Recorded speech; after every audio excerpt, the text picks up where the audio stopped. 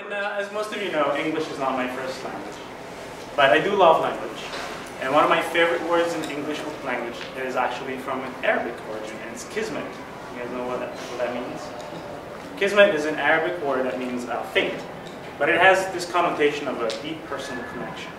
Like when you meet somebody for the first time and it's like you've known each other for your whole life. You go right into that friendly, you know, banter.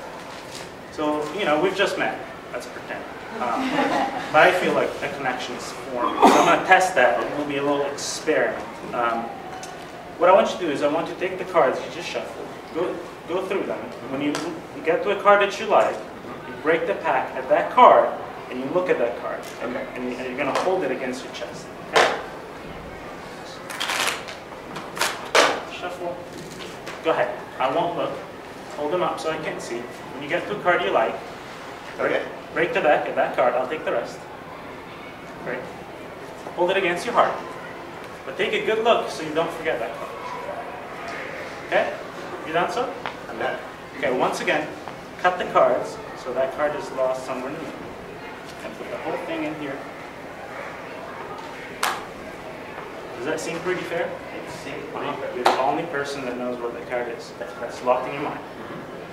But by holding it against your heart, you've also made an emotional connection with that card. as the heart is the seat of all emotions, as we all know. You mind if I do the same?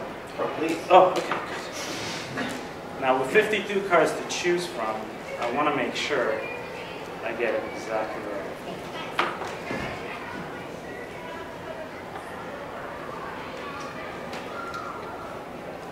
Am I lifting about half of those? Excellent. We both had a card in our mind, made an emotional connection with it. Now we need to make a personal connection, you and I. Okay. Okay? Rub your hands together. Hold them above, don't touch, but. Can you feel the energy? Yeah?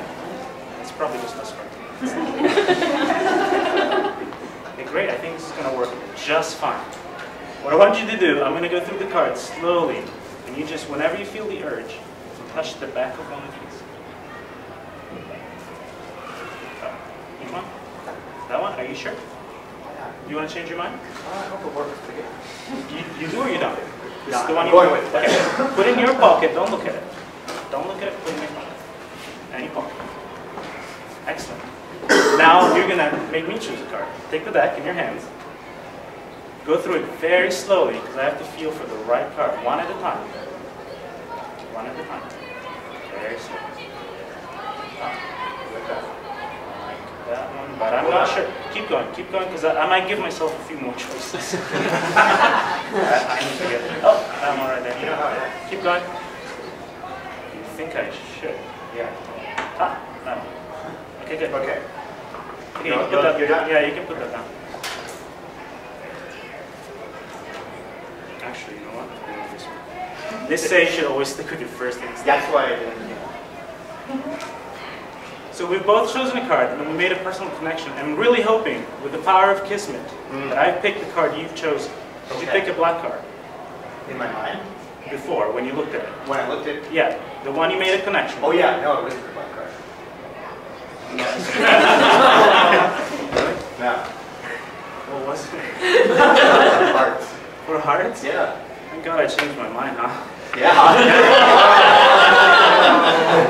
Now, you might think this is just a trick, and you might be right.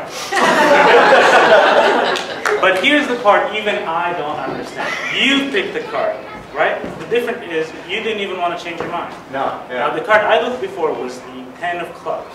If you have Ten of Clubs in your pocket, they're going to give you a huge round of applause. that feels so nice. Oh.